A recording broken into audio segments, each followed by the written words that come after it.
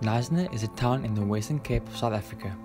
It is situated to the east of Cape Town and is a very popular tourist destination as it is part of the Garden Route. Some of the tourist attractions include the Knysna Elephant Park, the Garden of Eden, and the Knysna Lagoon. The town has a population of 74,606 people as of 2017.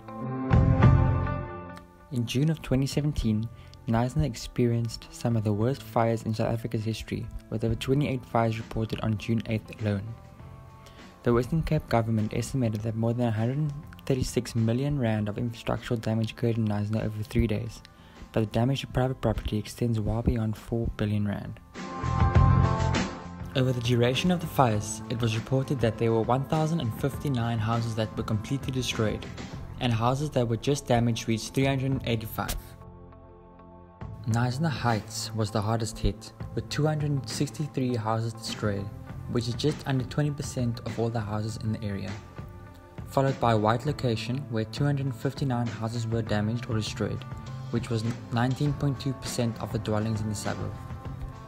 Some of the other areas that were largely affected are Brenton on Sea, where 99 houses were affected, which is 7.3% of the total number of houses in the suburb, Eastford, where 95 houses were destroyed, Paradise with 91 houses destroyed, Knysna CBD with 67, and Vaal Bedacht with 63, with other areas and suburbs also being affected but on a smaller scale.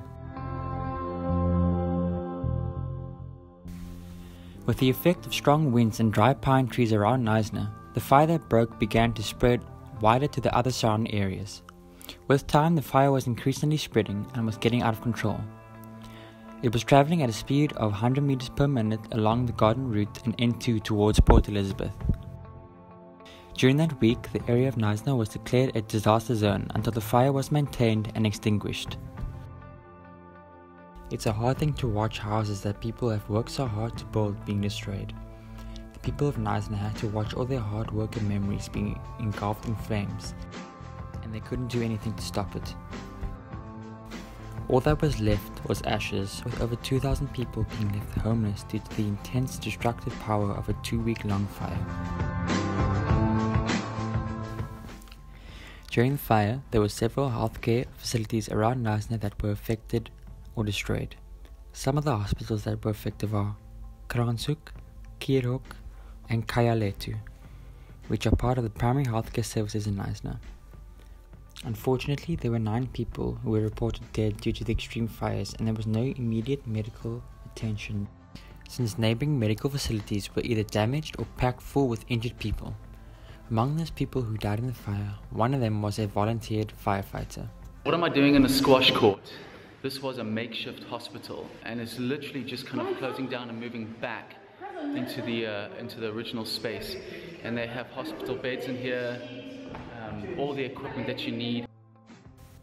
After two long weeks of the fire that was suspected to have started from a lightning strike, They're called peat fires. They spread slowly down the roots for several meters. places that were once full of life were reduced to ashes. The only things that were left were the structures of buildings showing that there were once a time when people lived there. Memories that were created by the people who reside there were lost within a few minutes, as well as some of the adventurous and beautiful places of Knysna were destroyed. A lot of people were left devastated and homeless, with the once adventurous and thriving tourist attractive town having to rebuild all that was lost.